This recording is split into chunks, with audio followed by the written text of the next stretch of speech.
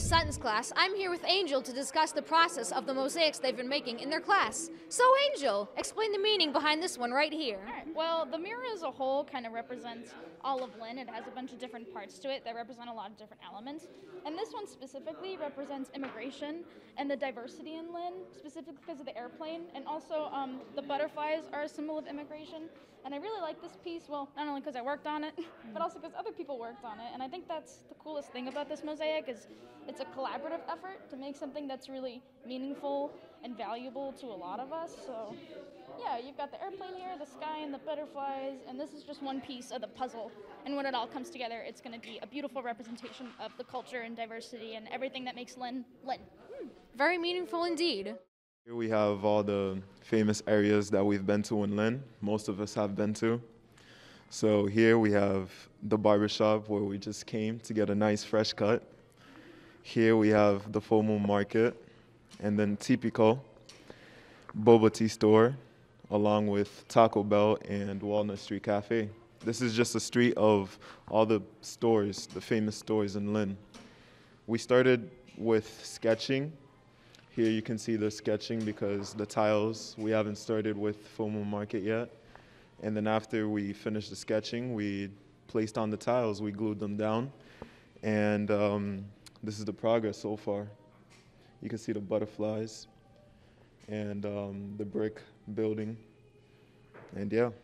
So this is our part of the mural, and it's supposed to represent culture and tradition. So in the background, you can see it's like the continents and the oceans. And here, it's supposed to be um, a Haitian traditional dress.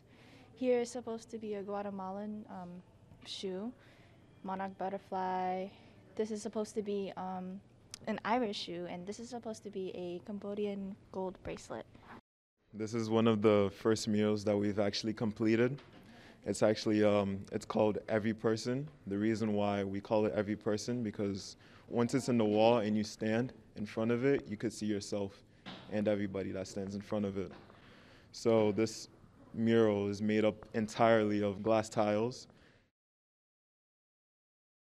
We have the person holding a compass depicting Massachusetts, and the heart represents Lynn because it's the heart of Lynn. All right, Angel, so tell me what it was like working with the glass mosaic tiles at first. Um, it was a little nerve wracking at first, I can't lie.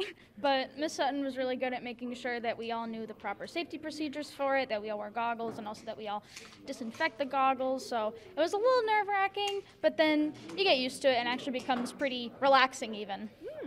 Indeed, seems like a very relaxing activity. Um, so once these are all finished, how do you think the mosaics are all going to come together at the end of the process? So right now we're just laying out all the designs and we're doing it on like a mesh net. So then eventually we're going to line them all up with like concrete. The concrete will go through the mesh and kind of hold it together. And then we're going to put grout um, on top and then smooth it out. And that will go in between the cracks of each tile, which is why we're leaving a little gap in between each tile. So that way when we're done, they'll all be able to like stick together. And I'm really excited for that process and to see it all completed. Okay.